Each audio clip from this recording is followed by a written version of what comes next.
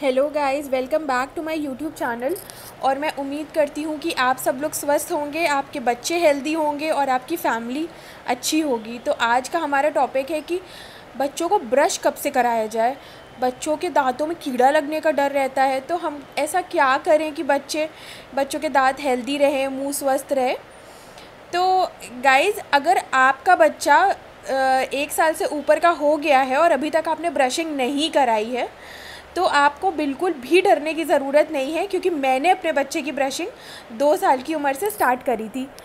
आ, आप छोटा वाला ब्रश ले सकते हैं छोटी ब्रिसल्स वाला और आप उसको तब ब्रश करवाइए जब आप उसको नहलाएँ, तब उसको कुल्ला करना सिखाइए। आप खुद कुल्ला भर के थूकिए, जिससे कि वो भी कुल्ला भर के थूकेगा।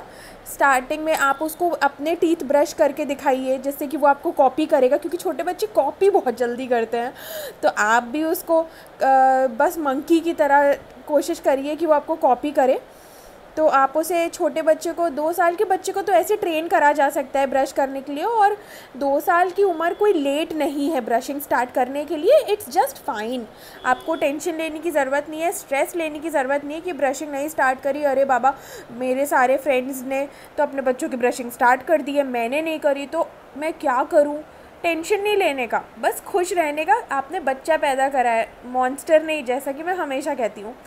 तो और और बाकी जिन मदर्स का मन है कि वो जल्दी ब्रशिंग स्टार्ट करें, उनके लिए भी कोई रिजिडिटी नहीं है।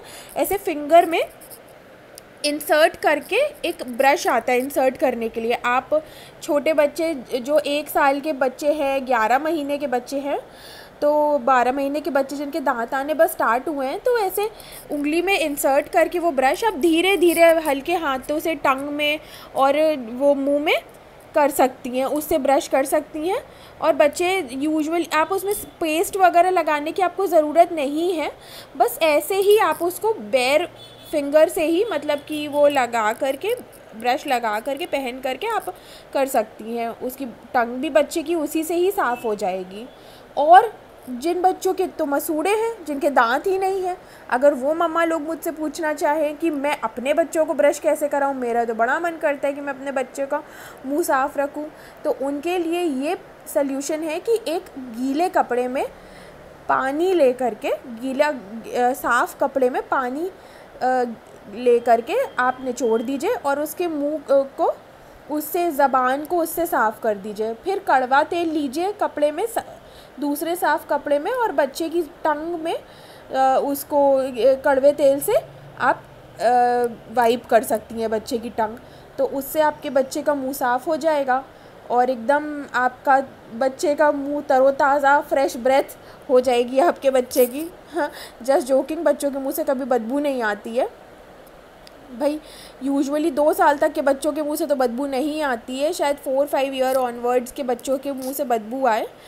तो उसके लिए ब्रशिंग है ना सोल्यूशन आप आराम से, तसल्ली से स्टार्ट करिए ब्रशिंग अपने एक्सपीरियंसेस मेरे वीडियो में कमेंट सेक्शन में शेयर करिएगा। और हाँ मेरे चैनल को सब्सक्राइब ज़रूर कर लीजिएगा, जिससे कि मैं आपके लिए बहुत सिंपल बहुत सटल वीडियोस लाती रहूँ, आपकी छोटी छोटी प्रॉब्लम सॉल्व करती रहूँ। Thank you